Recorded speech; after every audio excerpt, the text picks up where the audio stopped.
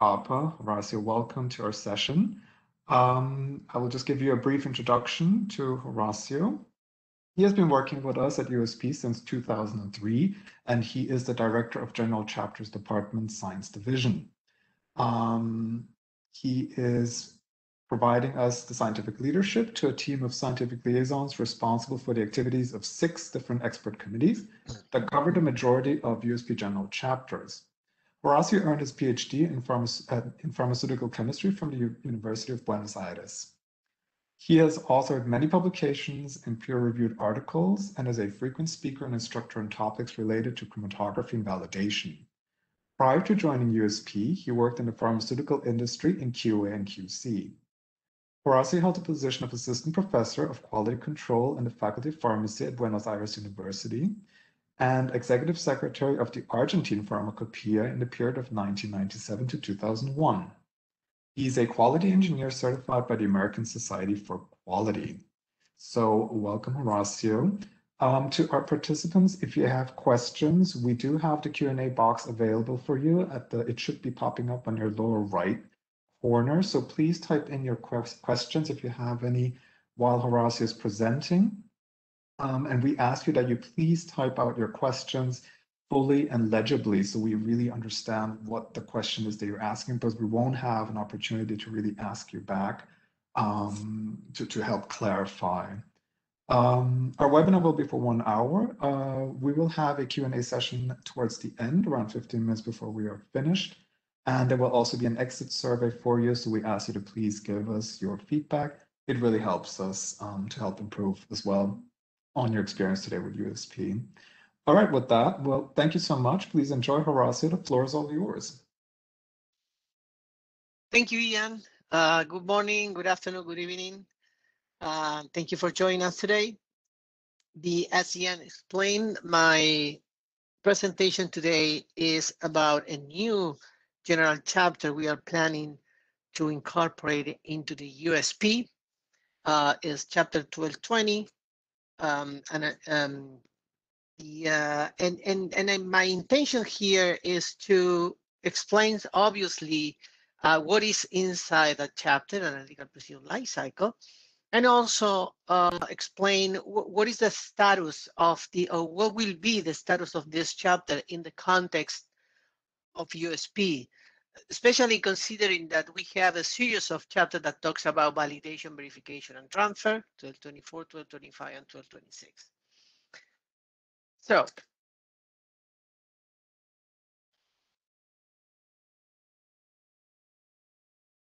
if if you look at the definition of validation, I picked the one in in in our USP chapter 1225, but but the others definition are very similar. And it says that a validation of analytical procedure is the process by which it is established by laboratory studies that the performance characteristics of the product meet the requirements for the intended analytical application. So the, uh, the concept is that through the validation experiments, you will determine if the method has the appropriate variability in order to be used for one particular purpose. And we know that that is, is not, not always, always the case in the pharmaceutical industry. Uh, in, in, in, in many instances, the uh, validation exercise is uh, is made in a like a, in a checkbox um, type, and and there is no clear connection between the variability of the method and the uh, the requirements for uh, the particular analytical application.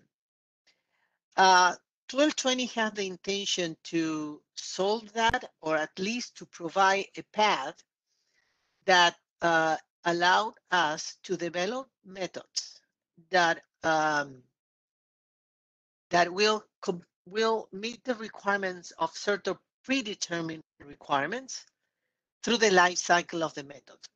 So from the, uh, the moment that the method is implemented in the lab until the method is retired. Uh, in the introduction, 1220 says that uh, this chapter presents an alternative framework for analytical procedures that holistically incorporates all the events that take place over the procedure life cycle that are designed to demonstrate that the procedure is and remains fit for the intended purpose. And I want to make clear that the intention here is not to replace uh, 1224, 1225, 1226 with 1220. Uh, as the introduction says, 1220 present an alternative framework. So our expectation is that some people may use this enhanced approach for development and validation of their methods. Others may continue doing the traditional. Uh, and I think that there will be a transition probably uh, that um, people will use one or the other. And the expectation is in the future, um, 1220, 1220 will be the norm. So you probably are familiar with this table. Uh, this is the table in the chapter on validation in USP, but it's very similar uh, table is in the ICHQ2 guidance. And as you can see, the table identify what are the uh, the experiments that you need to perform to determine the uh, the appropriate performance characteristics, um, depending on what what is the intended purpose of the method being category one, the main component within the matrix, category two, uh, a minor component in the matrix, category three, uh, is a performance testing, and category four, an identification test. But the, and I will uh, say this again, but with this uh, series of experiments, um, you cannot determine if the uh, variability of the method can be suitable for the intended purpose. As you know, we always say that you can validate any method, a very crappy method or a very good method. All of them can be validated. So again, we are trying to cover that gap in, in determine if for that particular application, the method or the variability of the method is suitable.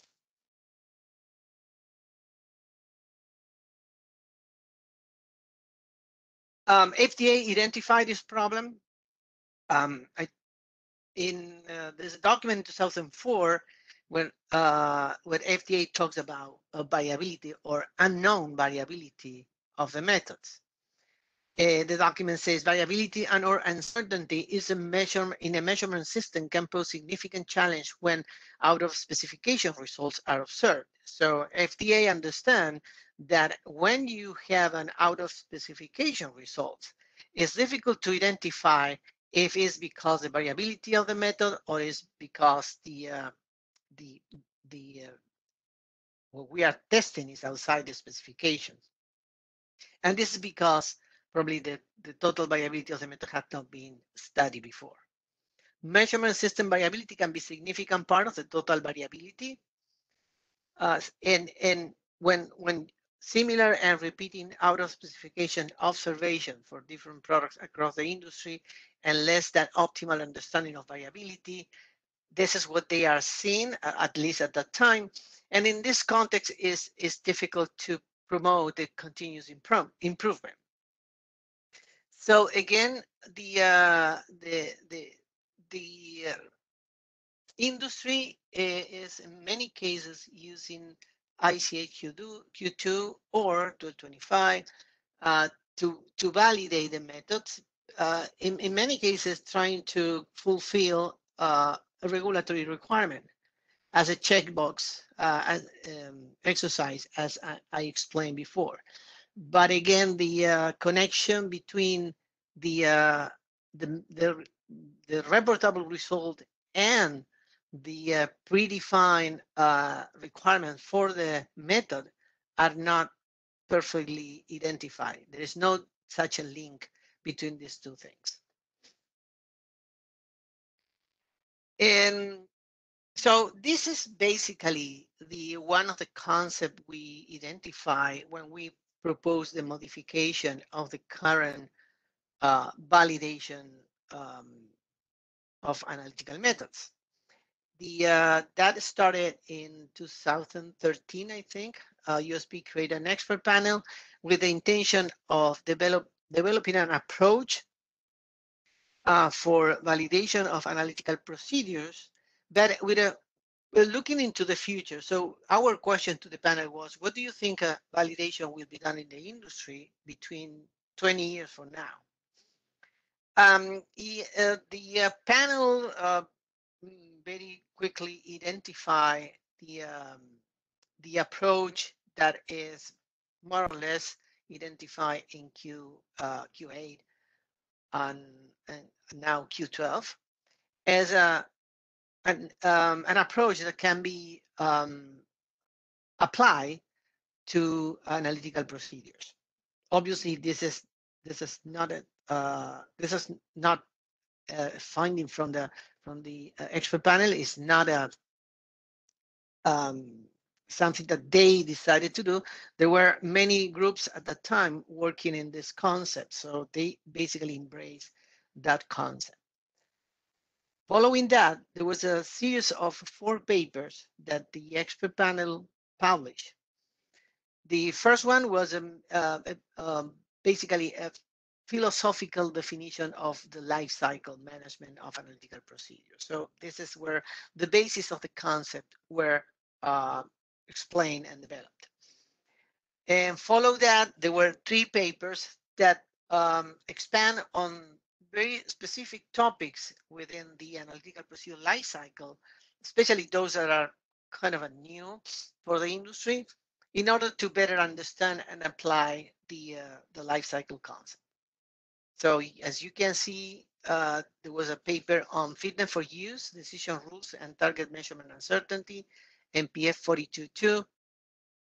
Uh, there is one on analytical target profile, structure and application through the analytical life cycle and, and a paper on analytical control strategy. All these elements are um, part of the uh, life cycle approach for the method. And what you see on the other side of the slide is, is uh, basically the uh, scheme of the, of the process. And as you can see, everything starts uh, with the uh, quality product target profile um, which is defined in, in Q8. So knowing what we want to measure, we uh, we can evaluate the um, the the amount of error we can have in our method uh, in order to not uh, avoid making uh, the uh, the wrong decision when we approve a product. So, and we can uh, quantify those uh, those requirements in form of total error uncertainty, wherever you prefer, but that uh, the analytical target profile is simply a, a, a very simple uh, declaration of what is the intended purpose of the method and what is the maximum error I can accept um, in, in this measurement um, according to the the criticality of the uh, quality attribute we are measuring. The uh, process uh, of the life cycle is debated in three stages, uh, procedure design, procedure performance qualification, and ongoing procedure performance verification. You can see the, the word validation is not here. And, and, and this is important to mention. In this concept, validation uh, takes um, a more important role, which is overarching the whole life cycle of the method. So I would say you will develop the method, you will validate the method, and you have to demonstrate that this, this state of uh, validation is maintained through the life cycle. Um, the, uh, the actual validation of the method is stage two procedure performance qualification. As we will see later, is quite of a uh, it may be a little different um, from from the classical uh, Q2 validation. So in in there is another uh, important component in here, which is knowledge management. Uh, there is a recommendation for a very strong uh, no, uh, uh process of uh, gathering information about the method that will be used uh, during the, the procedure design. Also, as the method advances in the life cycle, we will be able to produce or data that support the, the validation, and that also will be knowledge that will be incorporated into the, uh, the, the body of knowledge we have from the, for, for that particular method. So again, stage one is a, is properly the, the method development is when we decide the met, we we uh, design the method and uh, we establish the uh, the necessary parameters for the method and it's very important here that we will identify or better understand the effect of the procedure parameters in on the performance of the method.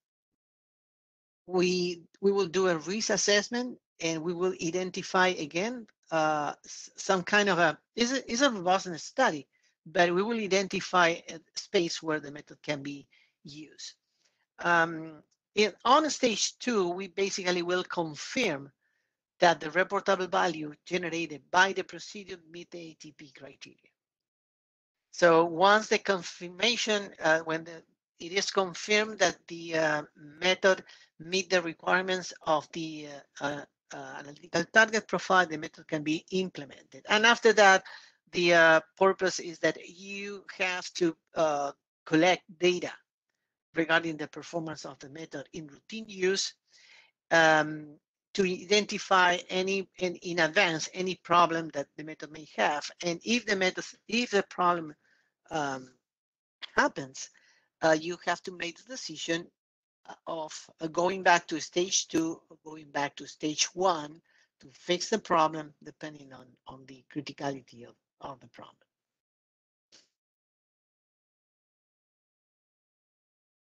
So I, I mentioned a couple of uh, elements that are um, in, uh, very inherent to the uh, life cycle approach. One of the one of those is the analytical target profile or ATP. And we say that ATP is a prospective description of the desired performance of an analytical procedure that is used to measure a quality attribute. So technically speaking, we will have um, an ATP for one particular procedure for one particular attribute we want to measure. This uh, ATP or this description is established before the method is developed because the uh, definition of the what is the appropriate quality of the reportable value had to be done before selecting the method. And based on that, we can choose the proper method technology for the measurement. It says that the independent the, the ATP is independent of the measurement technology. However, um, and, and recently we, we hear more and more that that maybe is not uh, the case uh, all the time. There are cases that the ATP needs to be associated with one particular technology. So um, I think that this many of these concepts are evolving as we speak. Uh, so we we can expect that uh, 1220 in, in, the in the future may be revised to incorporate new ideas or new concept or uh, modify some of the elements described there. What should include an ATP? As a minimum, uh, it is important to define what is the analyte. So what we are trying to measure a brief description of the analytical matrix. So we will measure A in the presence of A, B, C, D. Also, we, uh, we will describe the range that we, we will use the method. Remember, the uh, this, this is based on the, um, the specification of the quality attribute we want to measure. And finally, uh, the uh, precision and accuracy acceptable for the reportable budget. This is very, very important. And uh, as you can see through this uh, presentation, uh, the core of validation is now precision and accuracy. All the other performance characteristics are, I would say, secondary. Uh, the the main the main um, um, aspect is that if you meet the precision and the accuracy established for the method within the range, technically speaking, all the other components or all the other performance characteristics will be in the in the range we specify.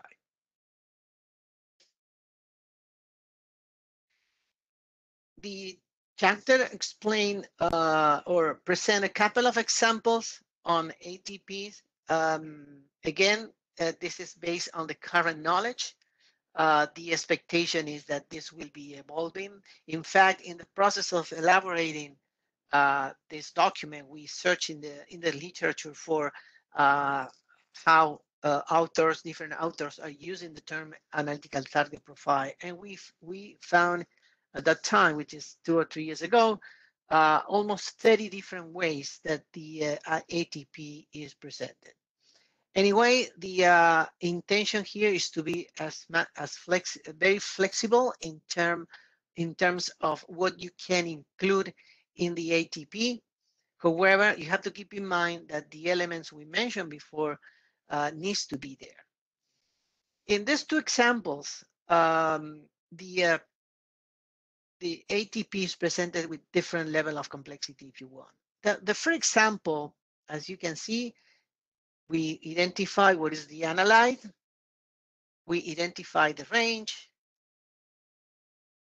we identify what is the matrix, the analytical matrix, and then we identify the maximum accuracy and the maximum precision. This is kind of uh, based on a classic, classical validation mode um, where accuracy and precision are estimated as two separate performance characteristics. We are now advocating for uh, for uh, estimating the total analytical error in the method as the uh, um, sum the, the sum of the accuracy and the precision. And this is where uh, where the method uh, the the example two is is doing when it says that the distribution of the total analytical error of the reportable value falls within the total allowable analytical error range of plus minus something. So again, in this case, the ATP defined the maximum variability for the method.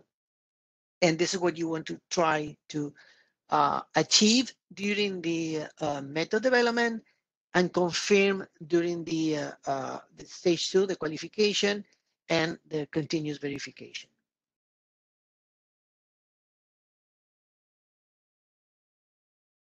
As I mentioned before, um, precision and accuracy take a very important role in the process of defining the, the total analytical error. Uh, you know, we use bias, uh, in, the term bias in the uh, in the chapter many times. Um, maybe this will create confusion in the future because uh, you know that the uh, accuracy uh, definition in in ISO uh, is different to the accuracy definition in ICH, and uh, all our documents are based on ICH. But we uh, we thought that at, at some point is important to try to align to a better a better terminology. So bias is the way that ISO define what we define as accuracy in in ICH. So again, precision and bias or accuracy will give me the um, the variability, the total variability of the method.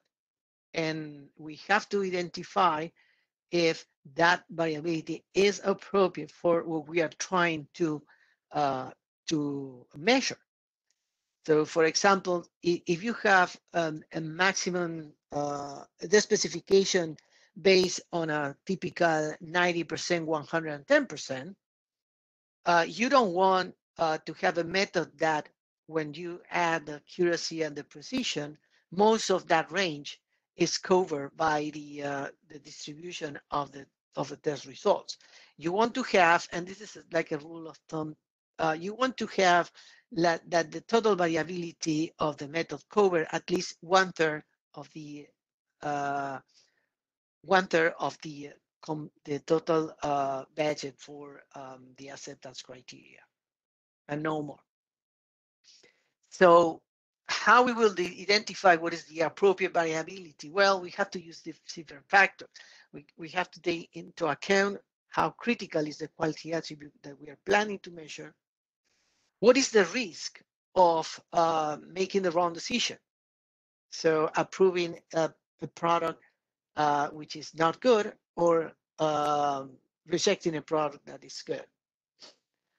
And, and, and the, the width of the specification or the acceptance range for the quality attribute measured by the procedure is the other aspect uh, you have to have.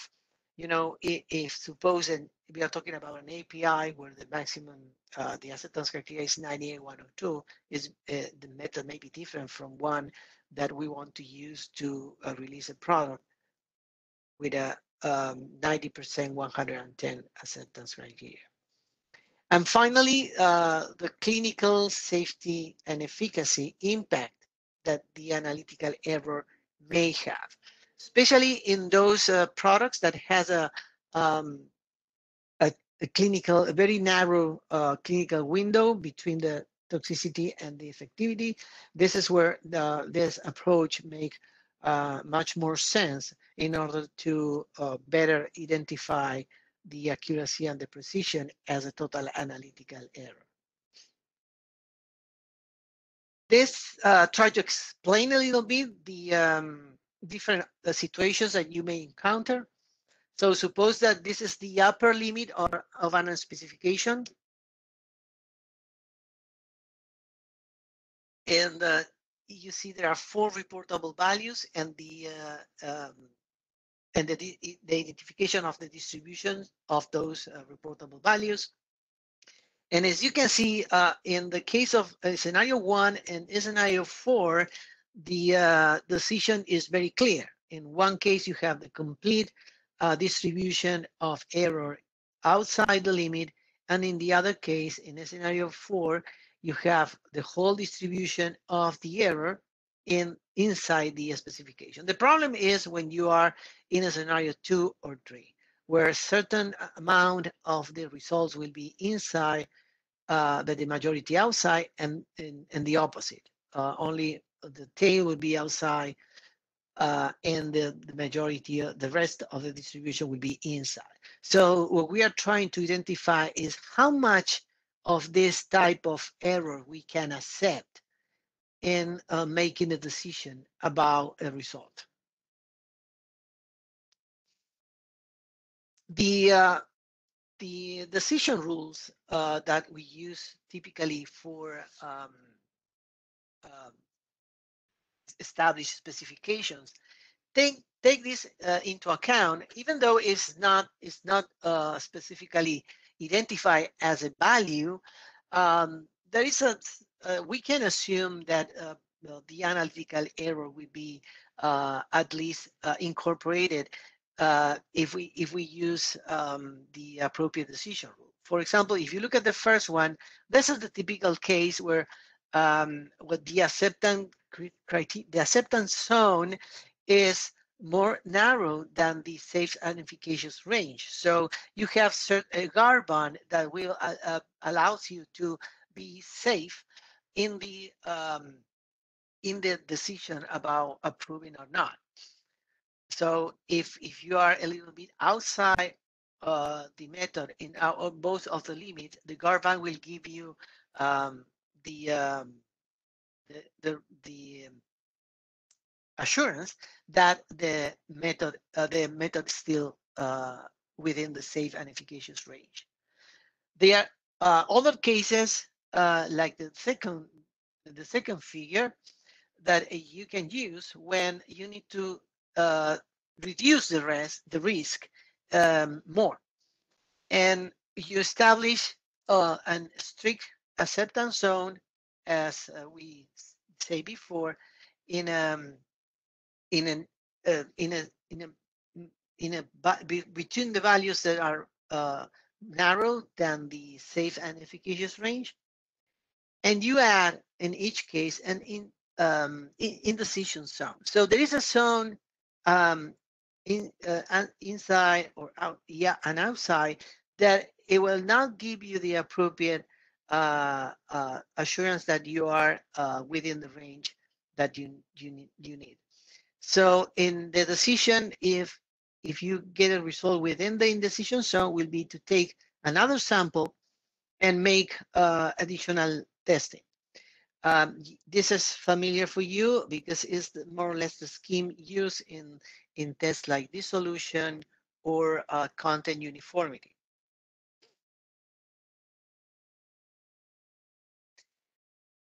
So going back to the different stages, uh, trying to uh, put a, li a, little more information on each, what happened in each case. So stage one is a procedure design. So we will collect uh, knowledge, we will do experiment, we will do risk assessment in order to identify what is the appropriate method. Remember that at this point, the ATP is already defined. So we will develop a method that we are sure that the, the um, reportable result will meet, will meet the criteria established in the ATP. Minimize, minimize the bias and provide the adequate precision. So again, this is not about uh, minimizing the bias and minimizing the precision. The precision, it may have a, an appropriate value depending on the ATP requirements. Um, also, we need to understand the effect of the procedure parameters in the performance of the method. Uh, we, we, in, in, in fact, we, we use the uh, robustness studies to, uh, to do uh, this.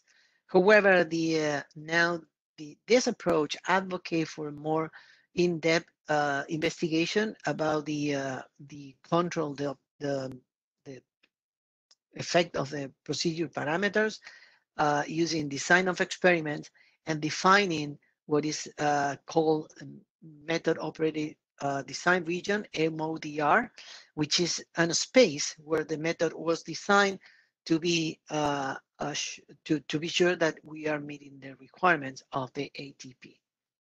Based on that, we have to optimize the performance characteristics of the analytical procedure, including accuracy, precision. Uh, we will have to describe the calibration model. We have to determine the selectivity and the sensitivity of the method, etc. The other two components that uh, are added here is the uh, definition of a preliminary replication strategy. So the uh, understanding is that in order to have a reportable value that can be compared with the acceptance criteria, we have to have certain number of results in order to be sure the, that the, uh, the precision is, is adequate. We also will define an analytical control strategy. As we mentioned before, on stage three, you will start monitoring the method during the uh, rest of the life cycle. And in monitoring the method, you have to choose what are the appropriate parameters and uh, and activities you need to do to uh, to demonstrate that the method is still meeting the requirements in the ATP. System suitability is part of it, of it, but uh, we will we will realize that there are others that can other other uh, quality tools that can be used um, to uh, to demonstrate uh, the continued um, performance of the method. So in, in order to um, measuring the risk, because the, the, risk assessment is also part of stage one, uh, again, we, we can use any uh, any of those instruments that are used to support the quality management, like any quality tool. In the in the chapter, we describe the use of two the Ishikawa um, diagram and the heat map that I will show in the next one.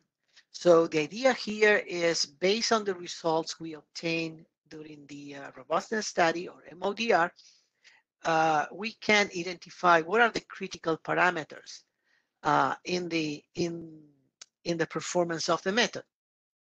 And for for that for that identification, we will use the Ishikawa diagram then we have to determine the criticality of that um, parameter we identify.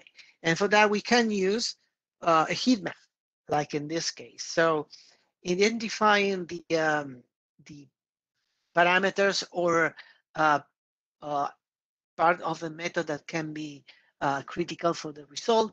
You can you can you can identify how much this will impact the um, the level into strong, medium, and minor.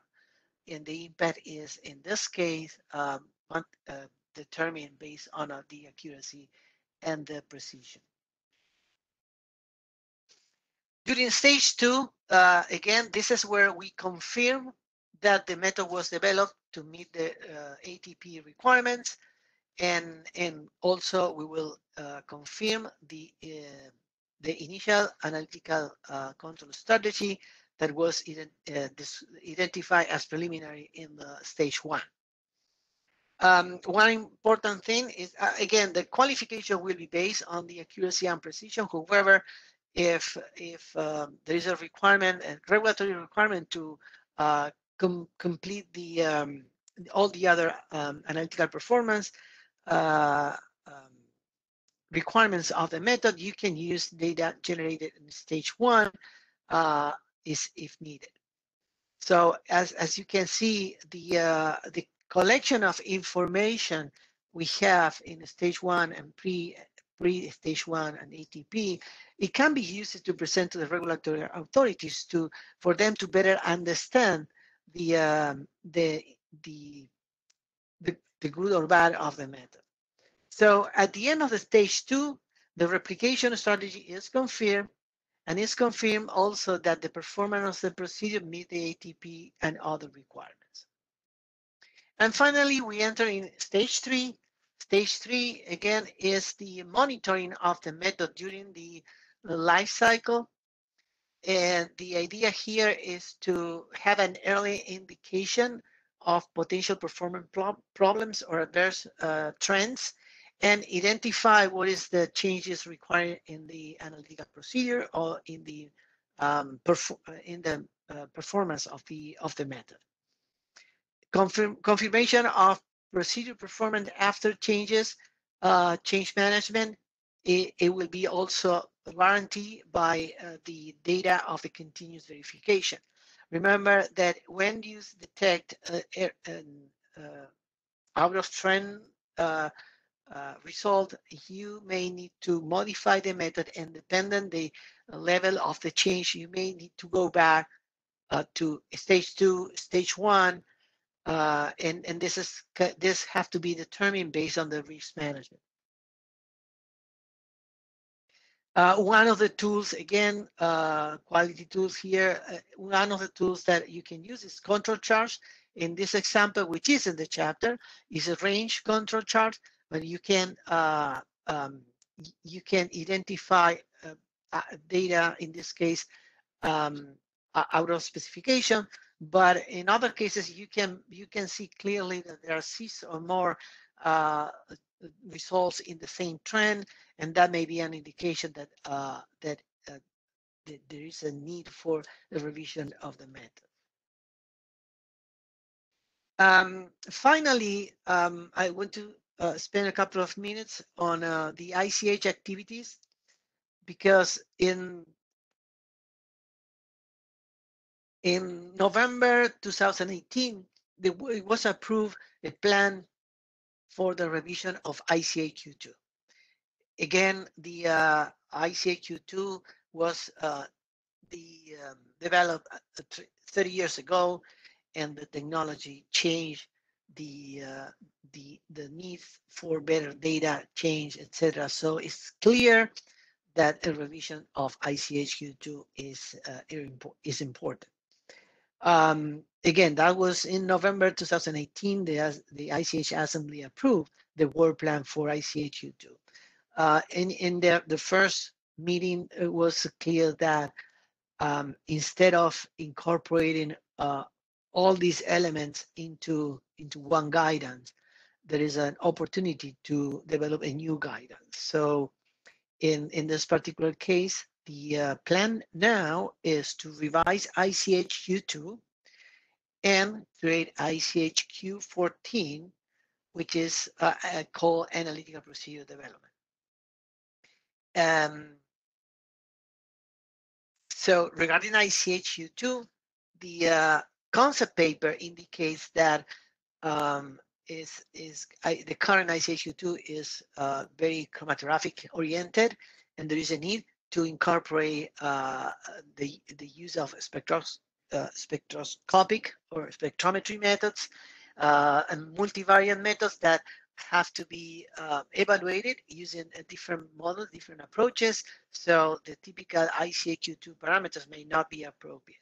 It also indicates that because there is no uh, reference standard used during the analysis for multivariate methods, it is important that the, the robust uh, of the method will be very be well identified and the, the uh, variability of the method will properly addressed. Um, in terms of what is in the guide right now, um, the guide is still not in the public domain. Um, uh, hopefully will be available between July and the end of this year.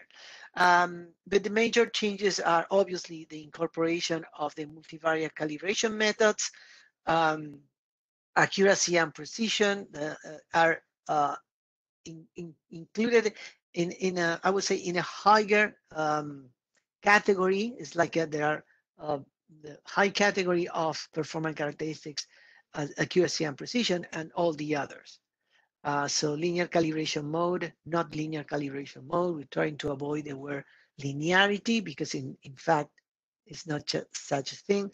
There is also an incorporation of the term selectivity because the, the parameter what we call today specificity in chemistry uh, is to demonstrate that the method is specific for something. However, what we do during the validation is to qualify the level of selectivity that the method has you don't always need a very only a, a, specific method. Uh, Q14 uh, again is uh, in, intended to be used during the method development. Um, incorporate some of the uh, components that we described today. Uh, important is that the method describe two possible approaches for method development. The minimal approach or the, the classical approach and the enhanced approach, which incorporate the elements that we described in 1220, such as things like a, uh, analytical target profile, knowledge management, risk, risk management. Obviously, the uh, description of robustness will be now in Q14 instead of Q2. Um, and then two important things, uh, how to develop multivariate analytical procedures and real-time release testing. So again, these two guidance probably will be um, uh, available uh, before the end of the year. The uh, the group will meet again uh, the first week of June uh, to uh, do the final the final adjustments before the um, before the publication. with that, I think that this is my last my, my last slide. Thank you very much for your attention. And I think we open the floor for questions.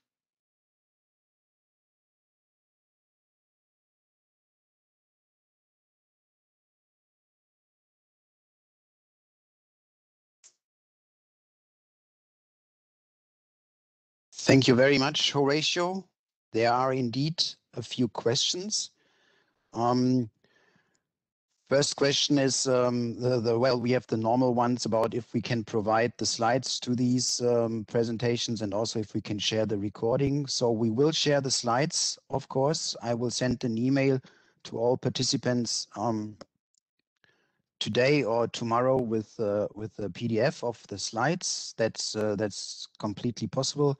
We will also share the recording on our YouTube EMEA webinar channel and we'll let you know the link then as well once it's done. Um, that will take, however, a little while and uh, will be done maybe in the in the next week. Um, we have, of course, also um, a little bit of, of, of technical questions here. Um, the first question that I would like to ask you, um, Horacio, um, there is some um, difficulty with the term multivariate analysis. Can you explain what you what you mean with multivariate analysis, please? Yeah. Um, so in in in in the typical analysis, uh, chromatographic, uh, like you use like a two two dimensions. When you go into the uh, area of, uh, especially in spectroscopic techniques and um, and um, near like a near infrared, for example, you will be uh, determines. Uh, I mean, you will you have to develop a model that uh, take into account more than two um, variables of the method, and that is uh, the way that you will identify a result. It's not the classical chromatographic, but is is a is a is, so it's a multidimensional um, uh, space where the result is incorporated. Uh, basically, is that um, is uh, so it's very specific for multi for sorry for certain spectroscopy test, but it's using more and more.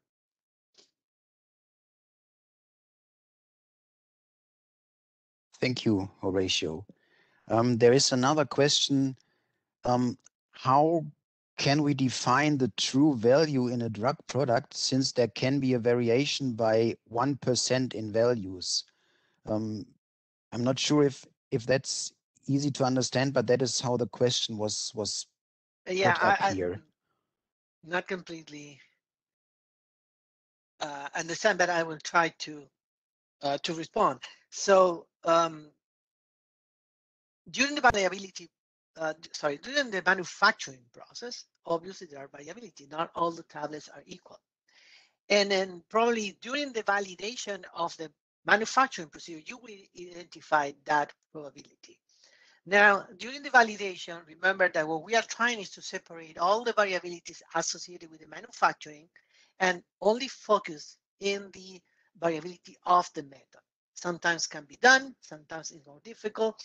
Uh, but that is the idea. So independently of the variability during the manufacturing, which is captured during the process validation, you have to um, you have to assess the variability of the method in a separate form. And obviously, when you define the ATP, you have to take into account the the the, the process variability, the variability of the manufacturing process. Thank you.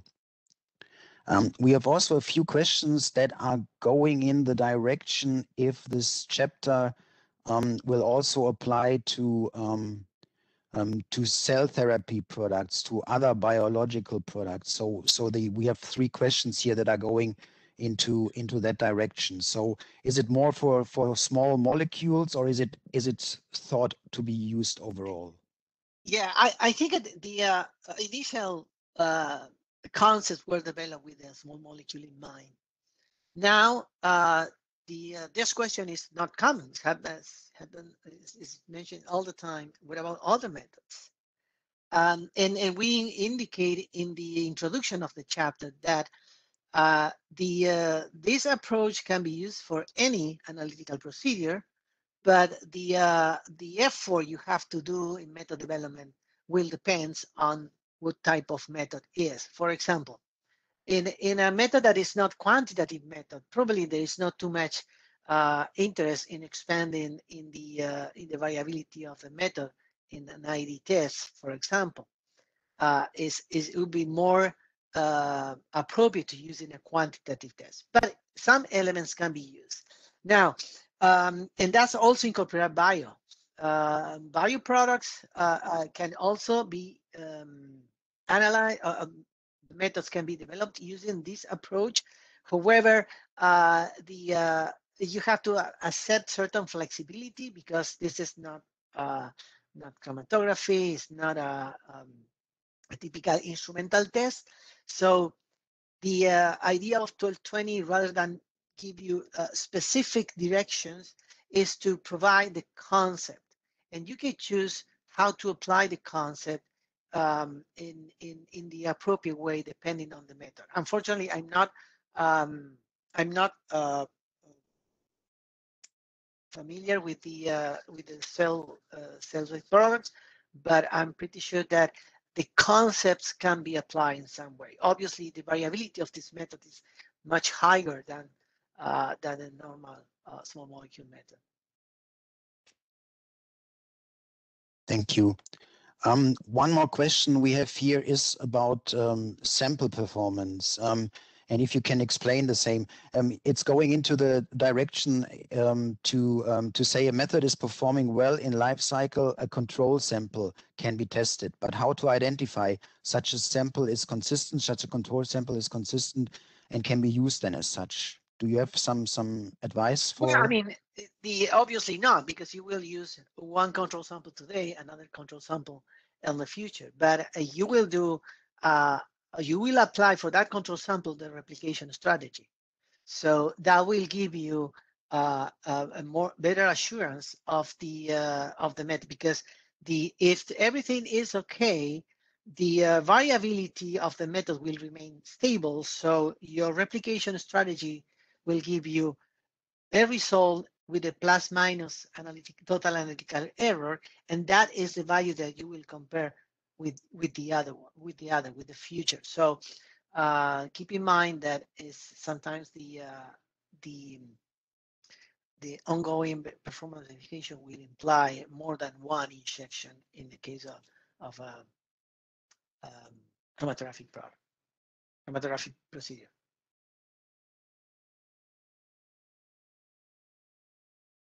Thanks, Horacio. We have two more questions. Maybe we can can get them through before we, end the call, the webinar. Um, one question here we, that was just coming in, how can we determine the accuracy and precision for ATP before we develop the analytical method? Okay, that's a good question. Um, for, for the method itself, for the statistical tool you can use for that, anything that is appropriate can be used. There is no restrictions there. But again, the idea is you have your um, acceptance criteria uh, for the critical quality attribute, and you know that is so critical that you cannot allow to have more than, uh, I would say, uh, five percent of the of the results outside the the um, the specification when you have a result that is close to the specification. So based on that, uh, you can identify what is the appropriate accuracy and precision. Um, again, uh, I, I, will mention a rule of thumb, like uh, uh, you have to be sure that the, um, the total analytical error uh, is only one third of the total specification. That that will give you some kind of a uh, assurance that the method is is appropriate. But any any other approach is is about is suitable. And the last question that is in here in our question and answers box, there were also questions coming to the chat box, but but we are looking at the moment just on the question and answers box here. That's the last question in here. Does the analytical life cycle approach and also Q14 um, also apply to techniques that are employed for identification, so spectroscopic identification, or um, we have also loss on drying here, mentioned sulfated ash um, and residue on ignition, which is the same again, uh, the uh, the in order to to apply this approach, you need to consider how critical is the test you're you are doing.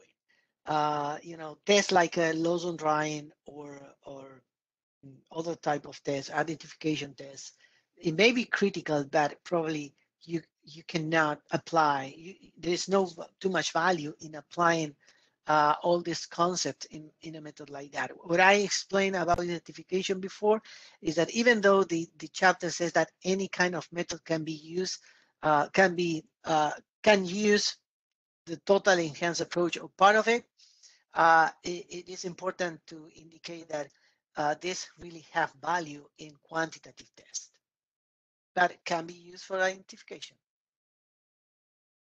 Thank you, Horacio. I'm just looking now into the chat. There are a few more questions. However, there are questions like um, what can we do um, to reduce the analytical bias of a method? I think that's probably a little bit too um, um too broad to answer um, right now here. Um, the same is here to what what things we need to take into consideration to calculate the analytical error.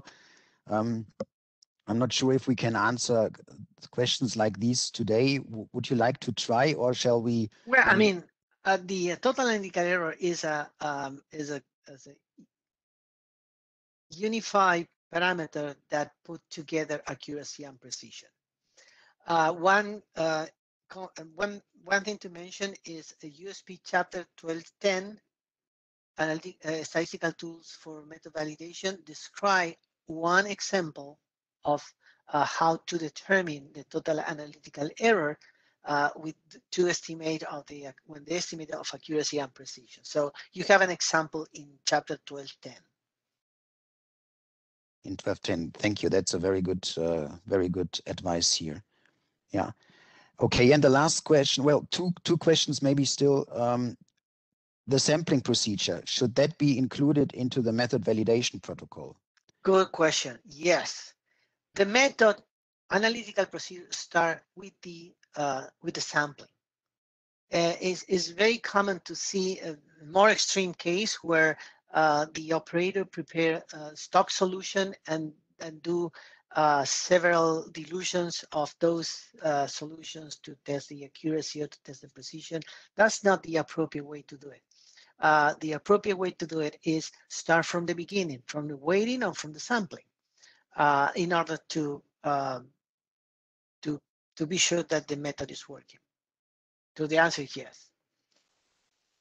Thanks. And the last question that we have here, if I see a trend in my analytical results over the years in the chromatographic parameters, how can I distinguish a trend is based on the analytical method so that we have a trend in the analytical method? How can I distinguish that from the trend that could be coming from the manufacturing process and is based on that?